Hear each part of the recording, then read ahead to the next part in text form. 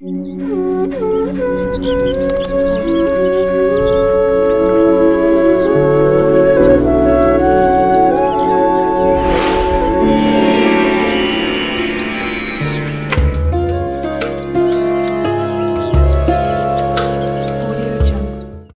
దేవుడి దగ్గర కూర్చుని చాలా మంది ఏడుస్తూ ఉంటారు. దేవుడి దగ్గర కూర్చుని ఏడిస్తే ఏమవుతుంది? సాధారణంగా మనకే కష్టం వచ్చినా కూడా భగవంతుణ్ణి ప్రార్థించి ఆ కష్టం నుండి బయటపడేయాలని కోరుకుంటాం. వాళ్ళ కష్టాలని వాళ్ళ బాధల్ని భగవంతుడికి చెప్పుకుని బాధపడుతూ ఉంటారు చాలా మంది.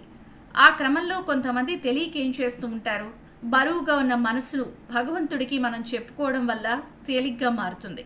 మనసులో బాధ అంతా కూడా పోతుంది. అనుకున్నది అవుతుందా లేదా కష్టం తీరుతుందా లేదా అనే మాట పక్కన పెడితే మనసు కుదురుగా ఉంటుంది. లోపల సంతోషం కలుగుతుంది.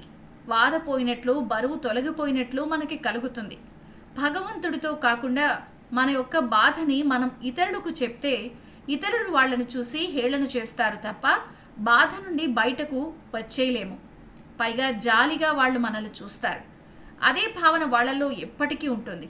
కాబట్టి చాలామంది భగవంతుడి దగ్గర వెళ్ళి వాళ్ళ యొక్క బాధలను చెప్పి ఏడుస్తారు.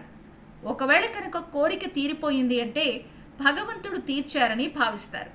కాబట్టి దేవుడి దగ్గర వెళ్ళి మన యొక్క బాధని చెప్పుకుని ఏడవడం కూడా ఒకందుకు మంచిదే.